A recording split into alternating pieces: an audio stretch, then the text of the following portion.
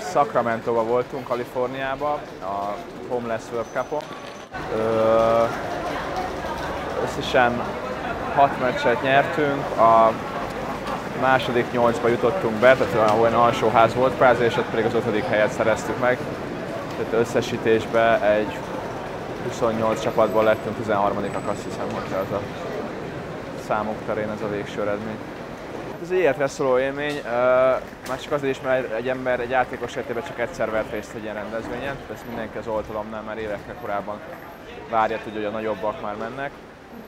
És hát egy világverseny, tehát játszák a himnuszt, magyar mezbe vannak, tényleg 28 országból vannak más, vannak az ellenfelek. Egésznek van egy ilyen abszolút komoly, meg ünnepélyes hangulata, tehát mindenkinek egy hatalmas élmény, hogy átélheti azt, amit a, amit mondjuk a tévében szokott látni a profiknál.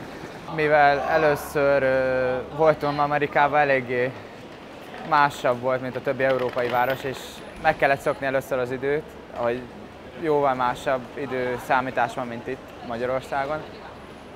Aztán találkoztam a többi ország játékosaival is, így ők is a reptéren gyülekeztek velünk együtt, és jó volt látni, hogy közel 30 vagy még több ország volt, szóval elég sok volt. Milyen érzés volt képviselni Magyarországot? Hát, mivel kevesen voltunk, így nem mindenkinek adatott meg ez a lehetőség, így nagyon jó. Főleg, hogy csapatkapitányként még másabb is volt egy picit, mint a többinek. De leírhatatlan egyébként, tényleg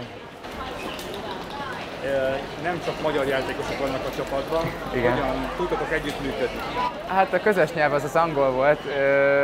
A csapat fele tudott magyarul, de amik vannak a többiek is, akik már szavakból is értik azt, amit mondunk, nem kell feltétlen mindent angolul mondanunk.